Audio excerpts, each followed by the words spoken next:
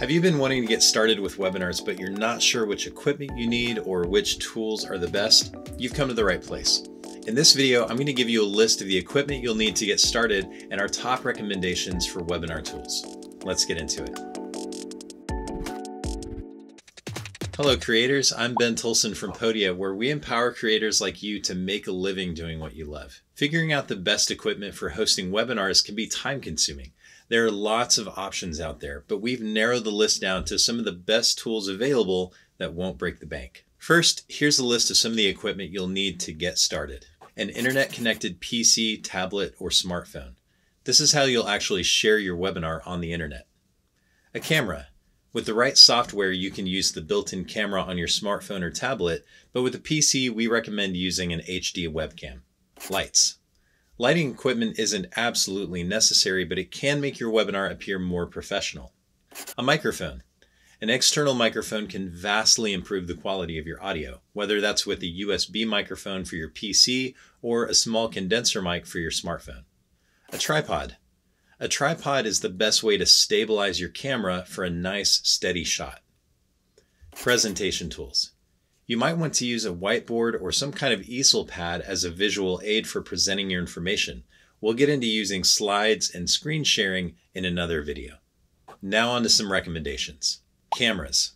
If you're hosting your webinar using a tablet or smartphone, the rear-facing camera is probably at least 1080p resolution, if not 4K, and the quality of that camera is more than sufficient for hosting a webinar. If you have a PC, we recommend getting an external HD webcam. The Logitech HD Pro C920 has been around for a while, but it still tops the charts in just about every category. One of the best features is a free app from Logitech that allows you to adjust the camera's focus, contrast, and color. This camera normally goes for $79.99 brand new.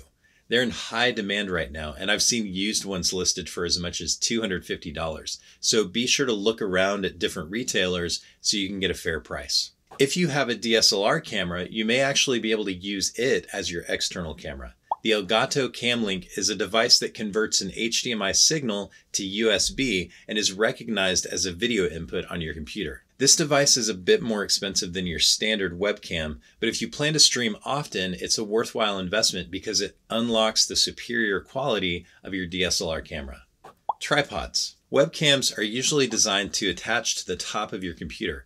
But the problem with using them this way is that they'll pick up extra movement from whatever surface your computer is sitting on, which can make your shot look shaky. A tripod fixes that problem and stabilizes your shot. If you're just starting out, look no further than this Amazon Basics lightweight camera stand.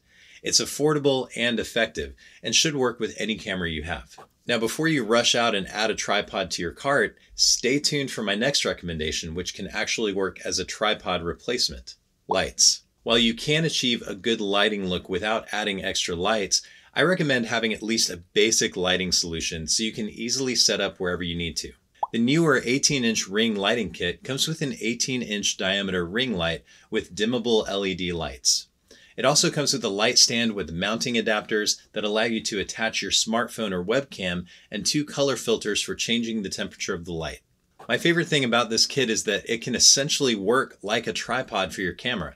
So you've got your lighting and your camera all there on one stand. You can spend a little bit more and get a three point lighting kit, which can work well if you have a dedicated studio space. But for portability and ease of use, I would definitely go with the ring light.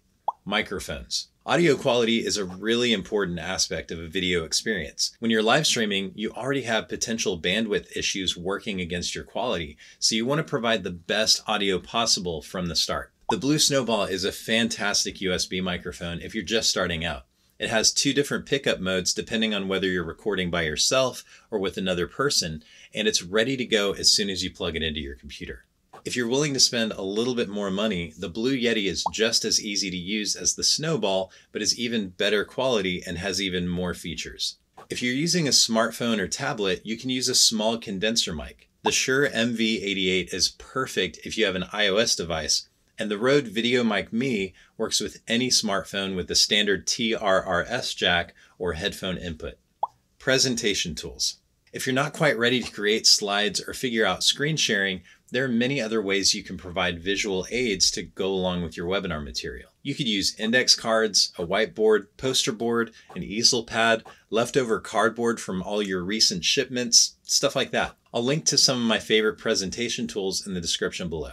That's going to do it for equipment recommendations. Hopefully this gets you one step closer to hosting an amazing webinar. In the next video, I'll take you through my recommendations for software and webinar hosting platforms. If you have any questions or if there are any equipment recommendations I missed, leave them in the comments below. If you found this video helpful and you want more content like this, click the subscribe button and hit the notification bell so you'll be sure not to miss any future videos. Thank you for watching and I'll see you next time.